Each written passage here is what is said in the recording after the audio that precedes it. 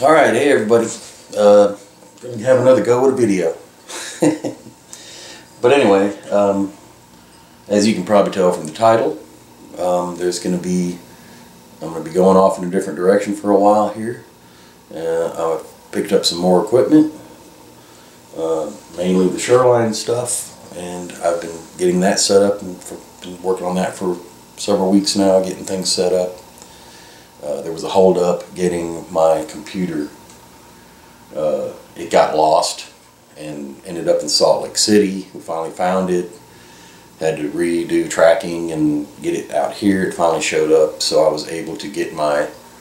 Um, what is it doing here? I don't know what the camera's doing, but I hope it's still working. But anyway. So anyway, I'm going to just start doing some videos on basic machining, what's involved, and I'm particularly since the Sherline is so popular and it's good stuff for the money. It's, it's very good stuff. Um, so why not go ahead, start filming, and I'm going to start going through and showing some videos on the basics and, and moving up from there. Kind of a Sherline or tabletop machining for dummies type. Not that anybody out there is dumb but you know what I mean. Um, getting people that are interested in it or curious about it, and some of you people may have this stuff out there as well. Um, but anyway, let me show you where I'm at. Uh, let's see if I can. There's the mill. I went ahead and got the 8-axis.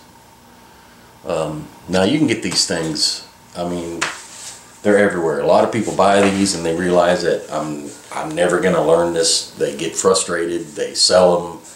So you know, there's a ton of these machines of various configurations and age and stuff out there at all price ranges. Actually, quite reasonable.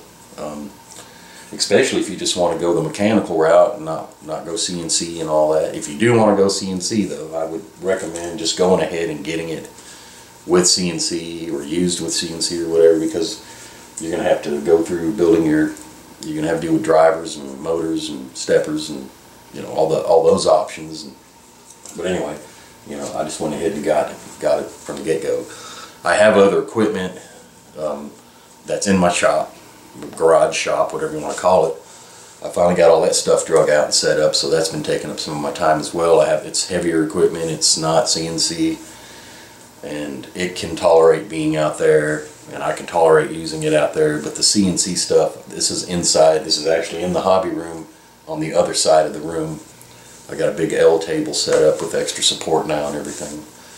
So I can you know machine throughout the year and I don't have to worry about affecting the computer and uh, you know the, the temperatures and stuff like that you know this stuff kind of needs to be in a temperature controlled environment if you're, especially when you get down to this really fine micro machining and stuff you need temperature control as part of it but anyway, as you can see, I've got, I've built, uh, I'm building a enclosure.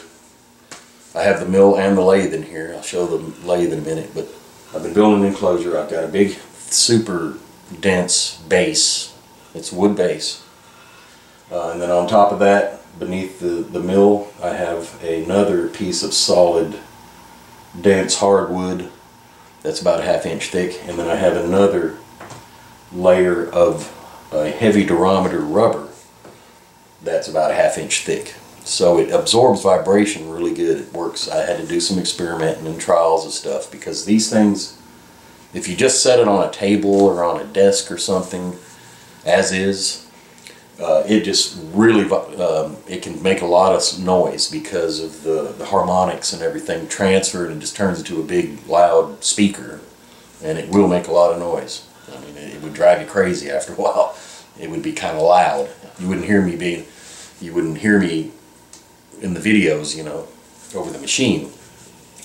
As it is now it's quite tolerable you know that's at full RPM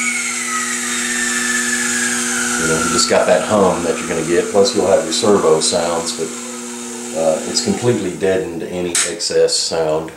So, you know, I went ahead and, and done all this. Of course, this is um, this lip in here and everything is there's it's sealed so if I end up adding a coolant or mister you know obviously you don't need to flood these things but you know any bit of little spraying and stuff is going to have to go somewhere. Well you don't want it all in your room. Plus your shavings are going to be flying every which way. Again that's what this enclosure is for to capture it. And then I just get the little stinger um, vacuum cleaner. It's great at sucking up shavings and liquid and stuff. So you just zip zip zip clean up a little bit when you're through. Um, you don't have to have all that, but if you're going to do any kind of quite a bit of machining, it sure makes a big difference. You're not having to constantly stop and clean, and you got shavings on. your, If you got carpet or something, it's it's, going to be a big mess. So that's taken some time to get this design and figured out and get materials. This is extrusion. I have a panel in the back. Um, and then there's a panel that goes in this side and this side. I don't have them in yet. I'm going to finish that this evening. I just got off work, so I got some time to finish cutting my panels, putting those in on each side, and then all I lack is I'm going to mount a two foot fixture on each side. So I'll have, you know, light flooding, flooding the uh, work area. And then it can, the nice thing about his extrusion is that you can attach things to it and all that. So if I needed like a little spot work light, I could attach it anywhere in here or even on the base or whatever and spotlight right onto an area because you do got to get in there really close sometimes and really see what you're doing. So I'm finished. As soon as I finish getting my lights on, that's the reason I hadn't filmed nothing yet because I'm not going to do, you know, I need to have light in there where, where I can film and show stuff to you guys. And once I get the lighting in, the the all the axes need to be indicated in. I mean, they're roughed in. They're pretty, I mean, I could machine parts as is, but um, it's crucial if you get this kind of equipment, uh, these little machines, to be able to indicate in your different axes and your parallelism and squareness and, and the whole nine yards. So, and it's kind of hard to explain or to read in a book and, and if you're not familiar with that kind of stuff. But if I was to show this, and I thought I would because it's kind of, you this is something you will be doing throughout your time with using this equipment. Uh, as you do different setups and stuff, you're going to always have to be checking and indicating things in. I thought I would show how to basic indicate in the machine. And then you've also got end play in your in your in your uh, lead screws and stuff like that. And that can be tightened up and, and loosened and stuff because you don't want to be machining on something and the table move on you a tiny bit back and forth and, and either bust a cutter grab your part or you know throw your tolerance out you know so those are all little things that you that are kind of crucial to know and, and you need to know that stuff if you're not familiar with machining that much so I'm definitely going to show that I thought you know that because it's, it's kind of an important part step of, of it and it's going to give you much more accuracy better finishes and just make life generally much better when everything's indicated incorrectly and what you can use to do it and how you know, pretty simple. Um, and then I'll just, here's the, the lathe is over here. On this side, again, same base setup, the same extrusion on the bottom. I've just got to cut a few uprights and a couple pieces. I'm not going to enclose the lathe completely. I'm just going to do the, this end and the whole back side. Because really the only coolant and chips and stuff are all going to always be flying off of right here where you're cutting. So that's the main part that kind of needs to be, you know, blocked from having chips flying up and coolant flying onto my wall and back behind the table and all of every which way. So that I also will have done this evening. I got the material, just got to cut it and get it attached, and and then in the morning or maybe later this evening, I'm going to go get my lights, and I just need to hook the, you know, I'm going to attach those to the extrusion, wire them up, boom, click, hit the switch, and then I can show stuff. Same thing with this. There is some, you know, there's alignment. When you, if you buy these machines new, at least, or fairly new, or even if you buy them used, uh, they should kind of disassemble them somewhat because you don't want these things banging around in the back of trucks and stuff and being thrown around uh, with everything attached, um, you know, because that could cause some damage. Uh, if you get it from Sherline or one of the distributors or anybody like that, it's going to be all in pieces. And you've got to assemble all this. You got to assemble the motors. You got to set up your pulley tensions your alignments your your head your carriages. All this stuff has to be aligned. You know it's just not a matter of you get it you plug it in and you start machining.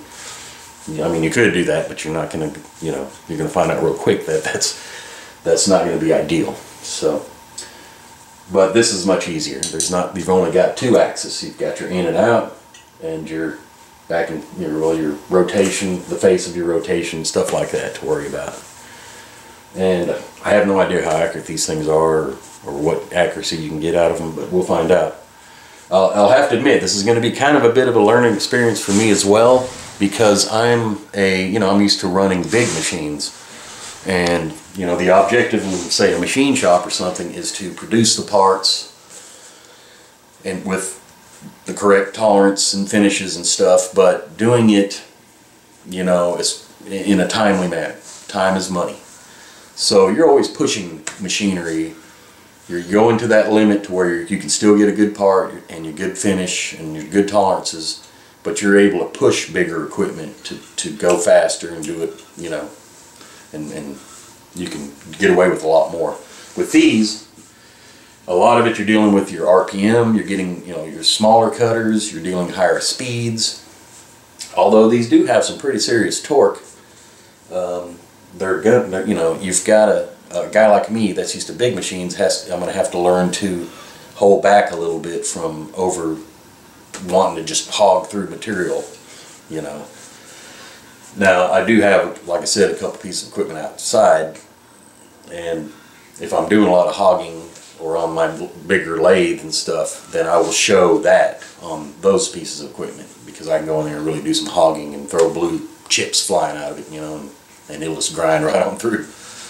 You know, and then bring it in and do the more precise stuff on these and show that. So there's going to be quite a few videos. I'm not stopping modeling. In fact, I'm going to be making a lot of stuff for models and parts and and I'm going to actually be hopefully offering parts for sale but it's going to have to be things that people aren't already making and producing and you know if it comes to the point where I can make something better or cheaper or different or unique um, I'll go for it you know? And if I can do it you know and keep the cost reasonable you know? Um, obviously to keep the cost reasonable on things um, you need to kind of be able to do them in a production capability um, you don't want to spend four hours making one little piece that you're going to sell for eight dollars you know? I mean that's kind of a you know and you've got to do a complete bunch of setups and all just to make that part. Well this is not very logical. So i'm going to show as we get going further along in this this series um, how to do um, how to get more into a production mode on these because there are with the CNC there's there's a lot of things you can do um, to um, perform more than one operation but with one setup. And uh, I mean a basic a prime example would be like on the lathe here. Um, you know you can set a couple different tools up. You know you don't have to have just one cutter you could have a couple different cutters on here or you could have your cutoff tool on the back side and then your main other tool on the front side. Say if you're doing a wheel rim or something like that you could make a profile tool which I'm going to show a little of this you know grinding profile cutters. I'm going to show a little of that how to do it at home. Hopefully I've got a plan. And how you can go in and have that one cutter go in and do pretty much the the profile of the part and then it'll shift over and cut the part off, boom, you know. The only thing you'll have to do is stop it, put another piece in, or feed another piece through, turn turn the program back on, boom, it goes in, machines it, boom, goes around, cuts it, boom, there's even possibly another operation you can add. There's some tricks you can do. Especially if you have, I went ahead and got the, uh, I've got the fourth axis rotary indexer. So there's some amazing stuff between all these axes on the mill and whatnot and, and on the lathe. And you add this in, um, there's almost no limit to what you can do with a little bit of imagination. But that's a little further down the road. I want to go over just, we're going to start out with basics. Um, it's just this is for you know these people that you know want to learn about it, want to know what's involved, but yet you know, you know they're not. You know, they're probably. I'm sure there's gonna be people like telling me you should have done it this way or done it that way. This would be easier. Give me to. Hey, I'm all open for it. I'm all open. You know, give me tips, tricks. I'll take them. You know. But I've been machining for the, as of this year. I worked in my first started my first machine shop 30 years ago. So, I mean, I've seen a lot. I haven't been doing it exclusively for 30 years, but I've been doing it on and off for 30 years. And I'm doing it again on the side now, aside from my normal job, which is a mechanical job. I do help out in a shop, and I've got two friends that I got people. I know people that own shops, and and I'm able to go in there and do some things now and then, and help them out, and when they need it, and and uh, I'm able to get material through through shops. I can get bigger pieces of material cheaper. I can get anodizing done, sandblasting, bead blasting, tumbling. You know, so it's good to know people. So it's that's kind of another reason why I went ahead and picked up this stuff because I have the ability to prototype things on here, and if it becomes something that's very a popular item that a lot of people want at a good price, I could have it actually production run at one of the shops. Or they may let me use their machines to, for a couple hours a day. Which, you know, I've got some options. So anyway, I don't want to get too far off topic. But anyway, so the next video we did, we see will be, uh, I'll have my lighting installed on both of these and that way I can do much better filming and close-ups and things like that. And then I'm going to show a little bit of indicating in all the axes, maybe a little of what's kind of, what that means and what that's for and why or whatever. Um, and then we'll start throwing some chips. So uh, stay tuned. And uh, thanks for watching as always. And thanks for putting out all the great videos out there and all the great com camaraderie that that we have in this community. And um, I just thought it was time to maybe do a little just go a different direction. It's been a rough few weeks for me at work. And this is a great joy for me to do this so uh, I'm really looking forward. Any questions, any requests, any anything you guys want to know uh, up to this point, post them in the comments. I will make a note of it. If I can't answer it right away, I will find an answer or answer it later or just do a whole video on it or something, you know, as we go along, you know. And uh, that should do the introduction. It's probably pretty long and lengthy, but I think I covered everything kind of pretty much. Thanks for watching as usual. Bye.